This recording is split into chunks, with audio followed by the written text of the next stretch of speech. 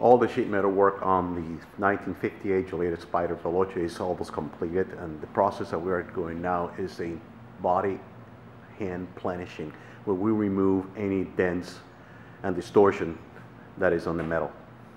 As you can see, the process of hand planishing, the front of the car is almost completed, where you can see all how clean the car looks when the hand planish is, is complete.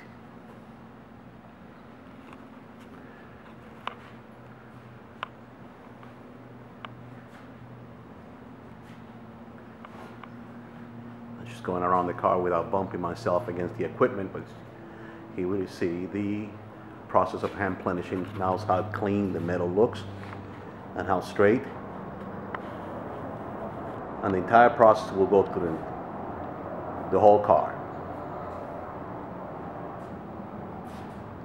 Every time you see a blue tape, this, we have to smooth it out, whether it's welding or the distortion in the metal as a result of the welding.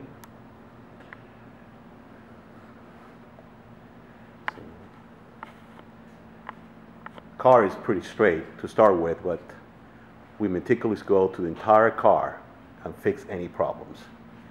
When I purchased this car, this entire hood, or trunk lid rather, was full of Bondo.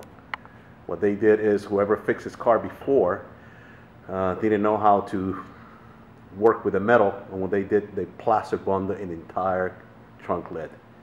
We removed the entire Bondo, and we hand planished the entire trunk lid. There's still a few dents that need to be repaired or fixed, but nevertheless, the process is completed.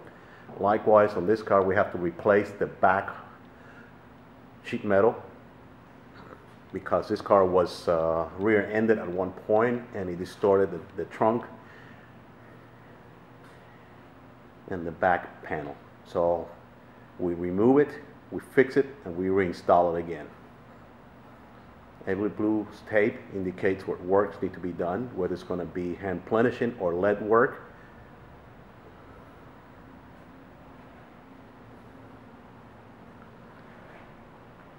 There it is, almost done.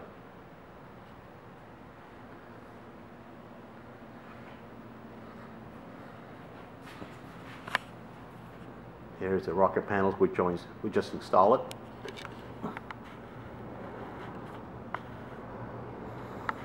Nice and beautiful work all the way throughout.